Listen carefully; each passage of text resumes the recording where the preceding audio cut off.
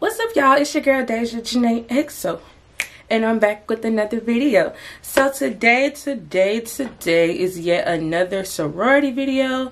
Um, today I'm going to be talking to y'all about a few things that you should know before joining a sorority. Um, many people like DM me on Instagram, ask me different questions about um you know their interest in certain sororities and things like that. So i just wanted to make this video to kind of inform people on things that you should already be aware of before even thinking about joining a sorority.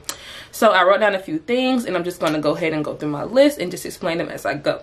So the first thing that i have on my list is that joining a sorority or a fraternity i'm only going to speak on sororities though but both um sorority and fraternity um these are lifetime commitments. Like I know most people get infatuated with, you know, sorority, sorority life, Greek life when they're in their undergrad and college, but these sororities and these organizations go far beyond um, your college experience. Like even after you graduate um, undergrad, people go to grad school after you graduate grad school. Like once you're well into like your own life, your own career, like um starting your own family like the work doesn't stop. Like you still this is still a lifetime commitment. Like we're still doing work. Like i mean although i'm not obviously like you know um you know have a family or like in my career or anything like that i know that i'm i signed myself up to be a part of this organization until lord forbid until my time has come. So just know that these are lifetime commitments. You're not just in it for a year. You're not in it for college. You're not in it for um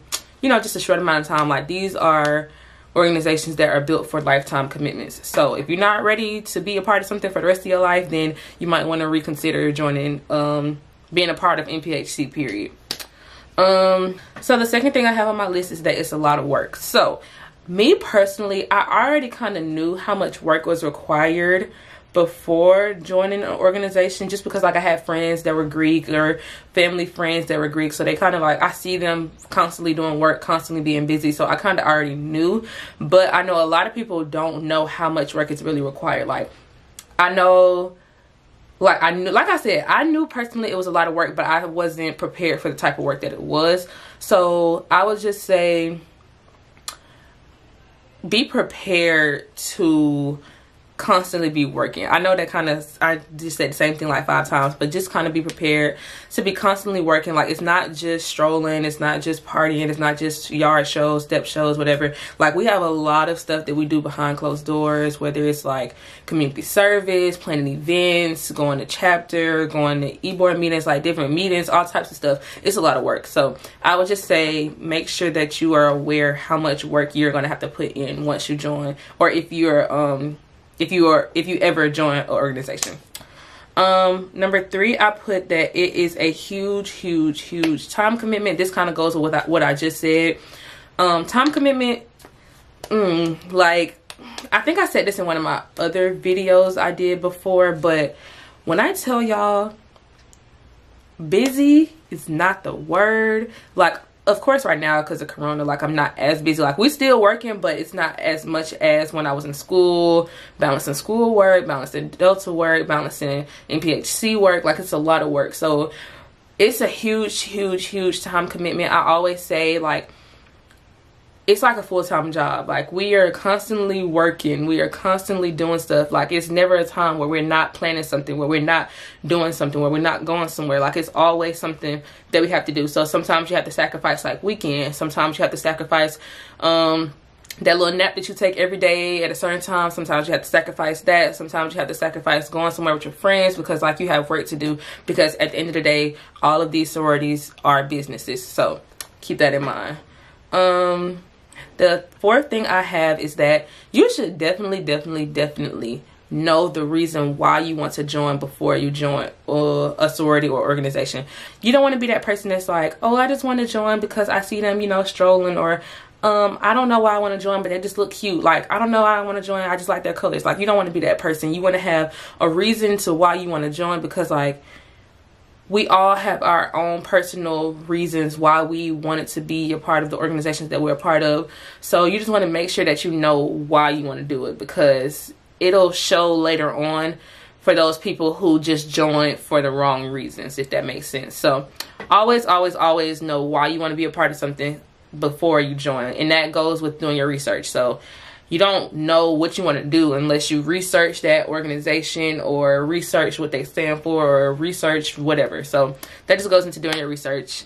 Um the fifth thing that i have is that y'all I ain't gonna lie I wasn't prepared for this one but you need to know that you need to be financially stable in order to join these organizations. Like I said these are lifetime commitments and with lifetime commitments comes comes yearly dues that you have to pay.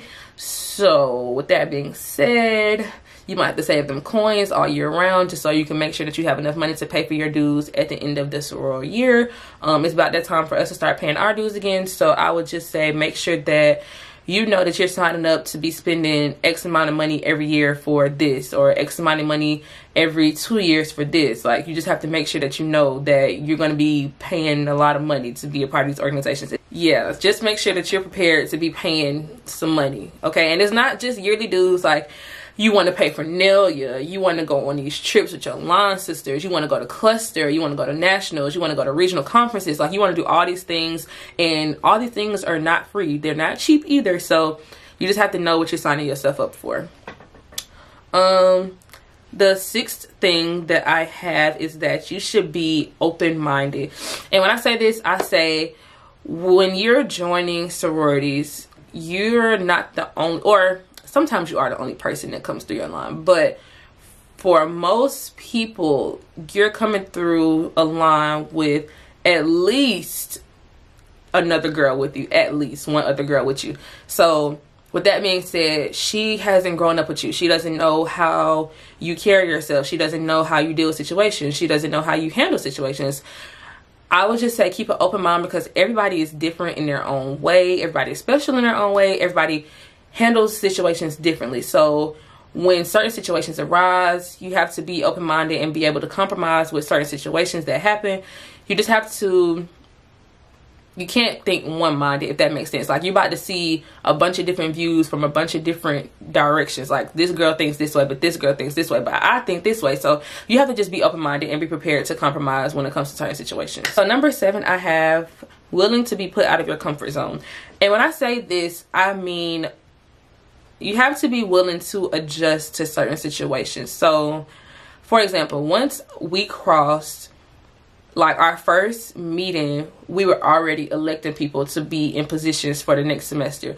So me personally, like, yeah, I was, you know, president, I mean, not president, I was treasurer, vice president of other organizations, but it's just like, you don't expect to be put into those type of situations as soon as you cross. Like, there are going to be times where we need somebody to speak on this. And you know you might be the only person fit for it. Although you might not be the most comfortable you still have to sometimes put yourself out of your com comfort zone to feel the duty that is expected of you um, for example, one of my line sisters, she's like a dancer or whatever. And although she's not really shy when it comes to dancing, but like anytime we have, we need somebody to like perform or do something, like we always look for her to kind of, you know, do like a little dance or something or singers, you know, we need some people to sing during, you know, graduation time, weddings and things like that. So sometimes you're to get put out of your comfort zone, but it's not to like, it's not to make you uncomfortable. It's kind of to push you to be a better you or to benefit something that's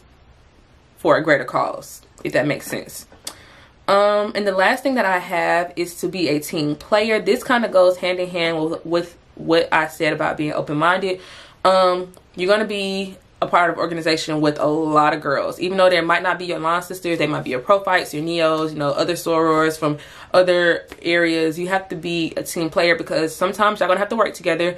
When we graduate undergrad, you're not only just dealing with your um, chapter, now you're going to a grad chapter and you're dealing with people from all over. You're dealing with people who cross from various different schools. And so now y'all have to work together to plan different events. So you just have to be able to be a team player because when it comes down to it, everybody has to pull their own weight. Like we can't have people slacking in certain areas, especially when you're expected not to. Um yeah, like when we plan an event when we're planning events, we have like a committee or something.